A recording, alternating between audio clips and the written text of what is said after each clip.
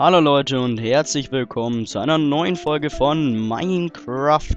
Letztes Mal habe ich über Pilze geredet, wir sind mit unserem Haus vorangekommen und jetzt will ich da eben weiterhin anschließen. Wir setzen dem Ganzen ein wunderschönes, äh, ja, eine wunderschöne Mauer aus Glas da oben drauf. Keine Ahnung, wie ich das jetzt auch immer genau mache. Wir lassen es aber wieder auf uns zukommen. Das Glas haben wir letztes Mal noch in den Ofen geschoben. Das, oh, ist jetzt auch schon einigermaßen weit, aber lassen wir es einfach ganz durchlaufen. Die haben ja auch noch ordentlich Glas, ne? Sind das jetzt Scheiben oder Blöcke? Das sind Scheiben. Nee, dann nehme ich das einfach schon nochmal mit. Man weiß ja nicht, vielleicht baue ich die Seiten jetzt doch aus Glas neben der Tür. Keinen genauen Plan. Ich werde jetzt einfach ein bisschen wieder rumprobieren, wie immer halt. Und währenddessen mit euch palavern. Übrigens, was ich überhaupt nicht nötig habe, was mir erst, was mir letztes Mal nach der Folge dann aufgefallen ist. Ich meine, ich habe das hier genug verkleinert sozusagen. Das heißt, ich kann... So, ich mache das so, dass an den Seiten hier noch ein Geländer ist jeweils. So zum Aussehen, aber ähm, ich brauche ja gar kein Geländer mehr. Weil hier ist es ja doch die Tür und so genug geschützt, da kommt ja kein Viech rein. So, das heißt, das mit der Fackel lasse ich stehen. Und dann noch... ja, meine Stimme ist in letzter Zeit irgendwie ein bisschen...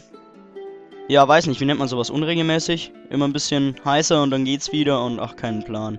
Ist ja auch vollkommen egal. Ich fange jetzt auf jeden Fall mal an, hier den Boden mit ähm, Stein auszulegen, denn ähm, das habe ich ja schon in der letzten Folge angedeutet. Aktuell sieht das einfach ein bisschen bescheiden aus, sagen wir es einfach so. Ja, bescheiden ist, denke ich, ein ganz gutes Wort. Wichtig ist hierbei, dass ich natürlich nicht dieses verdammte, den verdammten Zaun abbaue, sondern wirklich nur die nervigen Sachen. Und dementsprechend dann auch das Zeug richtig setze.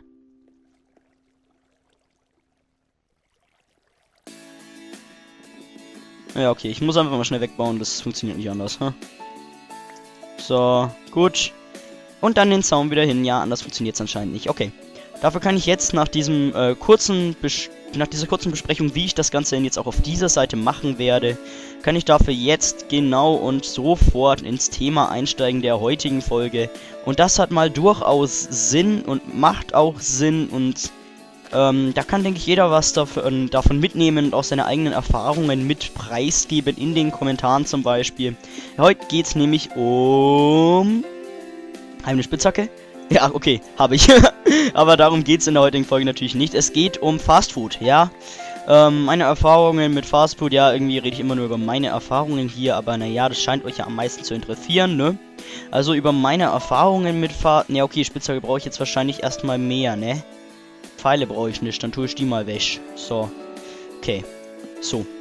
Allgemein über Vorurteile bezüglich Fastfood, ähm, ja, was meine Erfahrungen davon sind, was ich davon halte, wie das auch vor allem in den USA damit ist, denn ähm, das ist ja sozusagen das Entstehungsland des Fastfoods. Ach, das ist so ein breit gefächertes Thema, ich glaube, da kann ich richtig schön quatschen. Ähm, und deswegen ist es eigentlich echt schade, dass ich jetzt erst nach drei Minuten Aufnahme damit angefangen habe. naja, nun gut, wir werden das schon schaukeln hier, also... Fast Food, ja, was ist Fast Food? Zuerst mal eine kleine Definition. Fast Food ist schnelles Essen, meistens Fertiggerichte, die man sich zum Beispiel in Fast Food Restaurants wie McDonalds und Burger King, Subway oder so kaufen kann. Wobei Subway natürlich Sandwiches anbietet und das von vielen dann eben schon wieder nicht als ähm, Fast Food gesehen wird. Das ist immer eine Definitionssache. Das muss man einfach dazu sagen, vor allem bei solchen Sachen wie, ähm, wie ich es jetzt eben erwähnt habe, Subway oder so. Auf jeden Fall schnelles Essen, meist fettiges Essen, aber was ist daran das Problem? Ich meine, es ist schnell, hat oft auch ein bisschen Gemüse oder Salat oder so drauf, dann kann es doch an sich nicht so schädlich sein, aber es ist eben das Problem, denn dadurch, dass es eben so schnell gemacht ist, ähm, sättigt es auch nur kurz. Die genauen biologischen Gründe und so kann ich euch dafür nicht angeben. Ich weiß auf jeden Fall, und das werdet ihr auch selber festgestellt haben, dass äh, Fastfood am Anfang unglaublich sättigend ist, aber man dann nach kurzer Zeit schon wieder Hunger bekommt. Ja, wie gesagt, genau wieso, genau wissen wieso das so ist, tue ich nicht. Es wird Nacht, aber meiner Meinung nach können wir einfach weiterbauen, ne? Es kommt ja kein Monster rein. Komischen Eingänge da habe ich jetzt schon fertig gemacht. Also ist auch nicht so, dass ich draußen noch was ausbessern müsste. Können wir gleich mal probieren hier, ob das einigermaßen taugt, so als Bunker und ob da irgendwelche Monster reinkommen. Vielleicht sollte ich insgesamt hier ein bisschen ausleuchten, vielleicht spawnen. Naja, okay, nee, wenn ich sehe, dann spawnen hier ja keine, ne? Da, wo man hinschaut, spawnen keine Monster. Gut, dann kann ich auch einfach da bleiben und hier weitermachen. Gut, sehr schön. Meine liebsten Fastfoods, ich sag schon mal, gehen wir gleich zu den eigenen Interessen und so hier auch. Wow, wow, wow. Ähm, okay, so, äh, Tür, Tür, Tür, ganz, ganz schnell. Ah ja, oh mein Gott. Ähm, und schon bin ich wieder im Stress hier. Äh, äh. Geh rein. Puh. Okay, das, äh, das war knapp, ja, das war knapp. ich stehe sehr auf Döner, hol mir auch gerne mal was bei McDonalds oder Burger King. Sowas wie ähm, zum Beispiel Kentucky Fried Chicken fand ich zwar immer ganz lecker, aber war mir persönlich dann doch meistens zu heftig, weil ich stehe einfach nicht so auf gebratene, auf diese fettigen Hähnchenschenkel und so, die kleinen da. Ich weiß gar nicht, Chicken Wings heißen die zum Beispiel auch. Chicken Wings stehe ich auch nicht so. Wie gesagt, als Geschmackssache, wer drauf steht, Geschmack ist relativ, lässt sich drüber streiten. Ich bin auf jeden Fall nicht so der Fan von diesem, von diesem ganz fettigen. Ich meine, wie gesagt, Fastfood ist meistens schon ungesund genug, da brauche ich auch noch einen fetten Hähnchenschenkel. Na? Ja, okay, doch, Musik kommt. Es ist immer dieses eine Lied, wo ich mir denke, äh, Moment, ist die Musik ausgefallen. Ich muss da sowieso jetzt mal ein bisschen was hier ändern und ein bisschen die Musikbibliothek auffrischen. Es ist ein bisschen leer, also sehr repetitiv in den letzten Folgen. Ich höre halt wirklich jede zweite, dritte Folge inzwischen dieselben Lieder. Na, auch, auch trotz Zufallswiedergabe. Und ich habe zwar einige, aber die wiederholen sich natürlich doch ständig. Muss ich mir mal wieder was anschauen, ja. Habe ich glaube ich schon vor einigen Folgen gesagt, aber diesmal sollte ich es vielleicht wirklich machen, ne. Ich versuche dran zu denken, aber yo, Mann. Einfach mal abwarten. Hauptsache ist Musik im Hintergrund, oder? Dass ihr nicht nur mein Geschwafel hier ertragen müsst. Weil das alleine wäre, glaube ich, schon heftig. Also das muss ich zugeben. Ich kann mir auch nicht die ganze Zeit beim Reden zuhören. Da brauche ich schon mal ein bisschen Musik zwischendrin. Ansonsten drehe selbst ich ab. Ja, da ist wieder unsere komische Spinne. Was weiß ich, wo die denn überhaupt ist. Witzig, dass ich sie sogar laufen höre, aber naja, egal. Wir hatten schon mal einen Zombie, der hier in der Nähe war und dann auf einmal weg war, ne? Auf jeden Fall erstmal zum Frühstück gibt es ein Brötchen. Ja, wie sie es so gehört. Einen Höhlensound, finde ich, braucht es jetzt nicht unbedingt. Ich meine, ich bin in meinem Haus, da brauche ich keinen Höhlensound. Ist doch gerade eben schon fast wieder gruselige Ausmaße angenommen. Ja, das muss ich schon sagen. Und wir haben hier eine schöne Baustelle mitten in unserem Zimmer. Naja, was soll's. Okay, ich bin natürlich wieder schon total vom Thema abgeschweift, aber ihr wisst ja, ich finde dann auch immer sehr schnell zum Thema zurück. Das muss ich instant mich mal loben, dass ich zwar so viel abschweife und anderes Zeug rede, aber an sich immer wieder das Thema im Hinterkopf behalte und darauf zurückkomme, wie jetzt eben. So, ich fange an zu erzählen, denn es gibt da wirklich viel zu erzählen. Eine Geschichte bezüglich Fastfood, die ich erstmal loswerden möchte, ist, ähm, ja, wieso fangen wir nicht gleich mal mit ein paar Entstehungsgeschichten an? Na, was heißt ein paar? Ich kenne eigentlich bloß eine Entstehungsgeschichte. Denn der Döner, der türkische Döner, wo man eigentlich denkt, ja, irgendein Türke oder so aus Türkei, nein, der ist in Deutschland entstanden.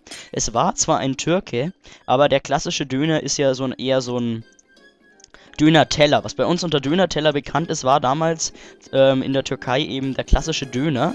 So war der da bekannt. Und ähm, da war ähm, ein paar, eine Türke, der hier in Deutschland ansässig war, hier gewohnt hat und da eben seinen Döner verkauft hat, hat sich gedacht, ja, ähm, die Deutschen sind so eine schnelle Gesellschaft, die haben gar keine Zeit mehr, sich richtig hinzusetzen und was zu essen. Wieso packe ich nicht einfach den ganzen Döner-Teller in äh, ein Brötchen? Und so ist dann eben der Döner entstanden. In Berlin war das. So, genau. Und ich habe keinen Bock, dass der Baum da mitten in mein Haus reinwächst. Damit bin ich blöd, oder was? So ist der Döner entstanden, der klassische Döner, wie wir ihn jetzt können, kennen, im Fladenbrot.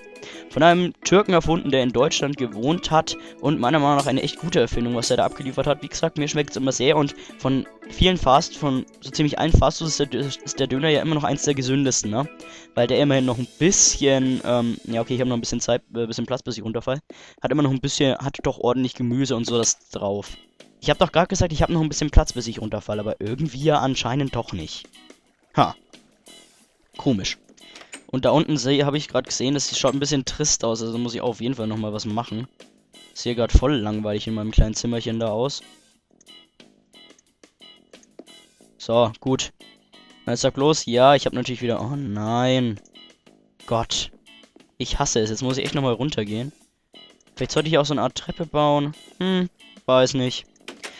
Nun gut, ihr merkt schon, ich bin jetzt hier die ganze Zeit ein bisschen am Philosophieren übers Thema und dann wieder ein bisschen am Nachdenken, wie ich das ganze Haus hier baue und dann wieder zurück zum Thema und naja, ist halt in der Folge so. Ich muss mich halt doch ein bisschen konzentrieren. Ich möchte, dass es hier einigermaßen gut ausschaut, ne?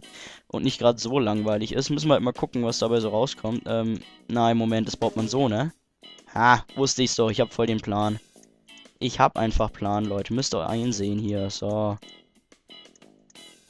Das wird erstmal reichen. 64. Ich, ich, ich mache das nicht mit Absicht. Ich hau immer genau so viel in die Box, dass 64 rauskommt, die letzten Folgen. Ich mache das echt nicht mit Absicht. Das ist purer Zufall, Mensch. Naja, was soll's. Ich habe ja halt echt gerade so viele Eingänge zu meinem Häuschen. Ja, okay, um mal wieder zum Thema zurückzukommen. Ich rede ja gerade so ein bisschen über alles und dann wahrscheinlich da noch ein bisschen Lebensmittelskandal rein und so und dann hier noch ein bisschen Amerika. Und ich denke damit, ja, okay, dann mache ich gleich damit weiter, wie die ganzen denn in Amerika dazu stehen. Und das ist meiner Meinung nach auch eine ganz wichtig, witzige Geschichte. Fastfood, das meiste Fastfood wie McDonalds, Burger King und der klassische Burger kommt ja eigentlich aus den USA. Vom, äh, oh mein Gott, Alter, ich glaube, ich, ähm, bringe mich heute noch um, weil ich so viel nach unten fall, ha? stürzte sich in die Tiefe und starb. Hehe. Vielleicht sollte ich... Also irgendwo muss ich mir einen Einstieg übrig lassen, ne? Das, ähm... Wäre zu empfehlen. Ja, dann hau ich mir einfach hier irgendwo... Hau ich mir in die Ecke hier einen Holzblock. So. Gut. Sehr schön, jetzt balanciere ich hier am Außenrand und kann nichts machen. Yay.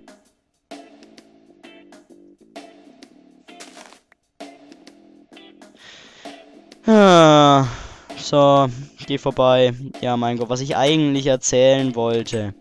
Es ist immer ganz witzig, man hat ja voll den, äh, man hat ja ein ziemliches Vorurteil von den USA, dass da total viel Fastfood gegessen wird. Und das stimmt auch wirklich, denn US, ähm, Amerikaner sind kochfaul.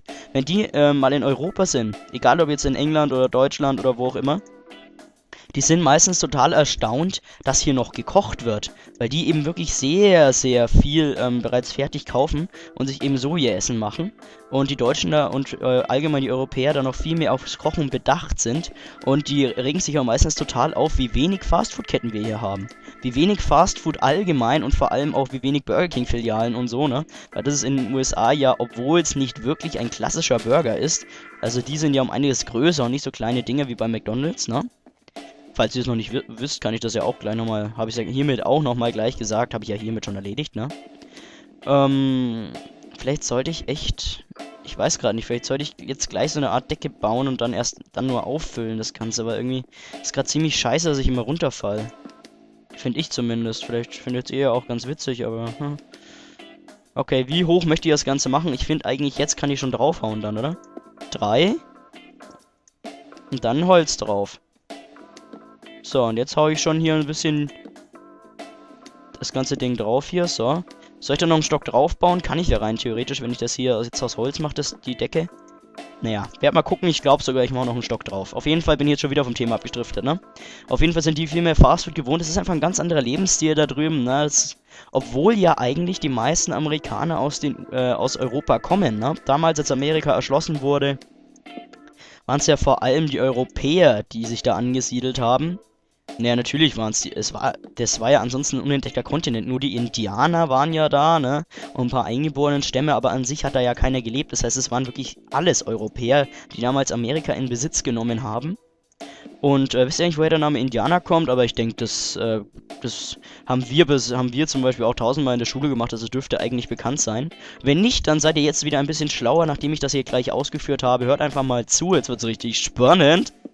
Also, Kolumbus war ja damals der festen Ansicht, äh, naja, okay. Kolumbus wollte damals einen Seeweg nach Indien entdecken. Ja, ähm, dass man halt schneller mit Gewürzen handeln kann und so weiter und so fort. Und ähm, ist einfach sozusagen, er wollte, er wollte von der anderen Seite.